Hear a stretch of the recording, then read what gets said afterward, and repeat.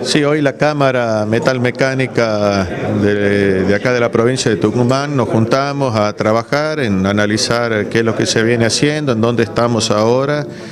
y básicamente, bueno, cómo seguimos trabajando. Y hay una potencialidad enorme porque esta es una industria base que da servicio y soporte a nuestras actividades productivas, a la actividad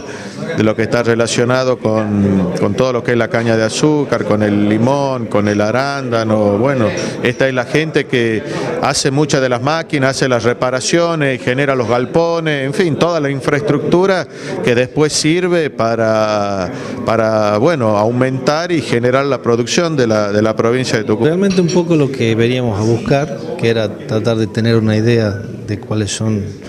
las cosas que pretende para la provincia, y un poco plantearle lo que nosotros como industriales este, nos está haciendo falta para poder desarrollar la actividad de una manera más competitiva, tanto para la región como para las otras provincias, ¿no es cierto? Y si se llega a lo que es exportar en condiciones favorables, mucho mejor. Es una cámara potente con más de 200 establecimientos, más de 4.000 eh, personas que están empleadas y trabajando hoy actualmente, con lo cual habla de, de un sector vigoroso, pujante.